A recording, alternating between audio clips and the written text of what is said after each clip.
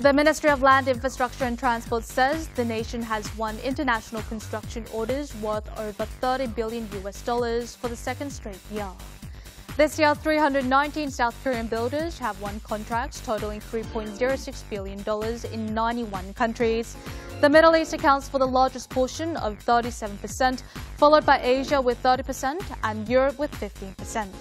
Until 2014, South Korea won $50 billion worth of construction contracts overseas each year, but it has dropped to the $30 billion level due to falling oil prices and the COVID-19 pandemic.